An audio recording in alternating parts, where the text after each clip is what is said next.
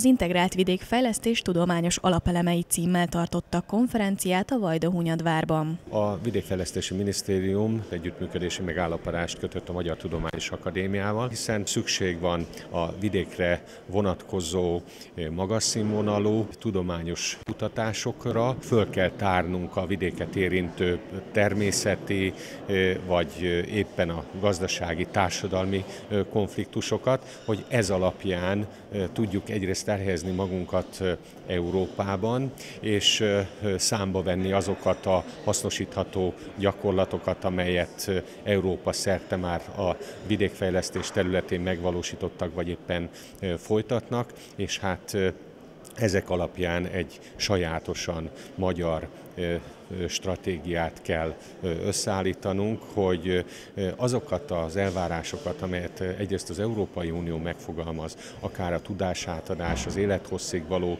tanulás, a mezőgazdasági üzemek versenyképessége, a klímaváltozás hatásainak enyhítése, kiküszöbölése, vagy éppen a szegregáció csökkentése, a szegénység elleni küzdelem terén, azokat eredményesen megtehessük. V. Német Zsolt helyettes államtitkár megnyitója után a Magyar Tudományos Akadémia vidékkutatásainak első eredményeit mutatták be a neves előadók. Közel 100 millió forintos projektet indítottunk így közösen az akadémiával, ami alapvetően az úgynevezett vidékkutatásokat támogatja, alátámasztani azokat a dokumentumokat, amelyeket be kell adni az Európai Uniónak, hiszen elvárja azt tőlünk, hogy ezt statisztikai adatokkal, illetve tanulmányokkal támaszuk alá, hogy miért olyan vidékfejlesztési programokat kíván kívánunk indítani. És ennek a munkának az első fázis az most február 28-ára készült el, amikor is a kutatóintézetek leadták összesen 13 témakörben az anyagaikat.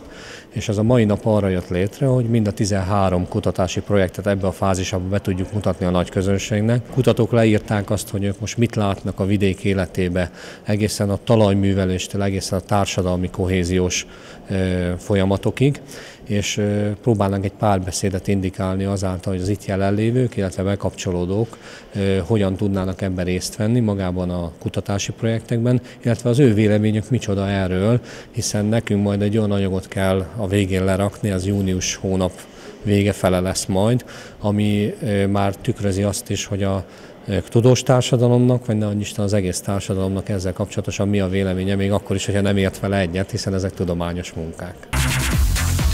Az elmúlt hetekben a rettentő gyenge forint-euró árfolyam miatt az ótermésű gabonák árai emelkedtek a raktárakban. Ez azt jelenti, hogy 70 ezer forinton is volt jó minőségű búzára üzletkötés, és 57-58 ezer forinton pedig ókukoricára is voltak üzletek a jelenlegi tavaszi munkákkal 3-4 hét elmaradásba vagyunk. Ez azt jelenti, hogy május 1 nem leszünk meg a tavaszi munkákkal, ez valószínűleg május 10-15-re ki fog tolódni. Ennek van egy, lesz egy olyan hatása is, hogy az ótermésű gabonák árai emelkedni fognak, egy ilyen spekulációs kivárás várható a piacon.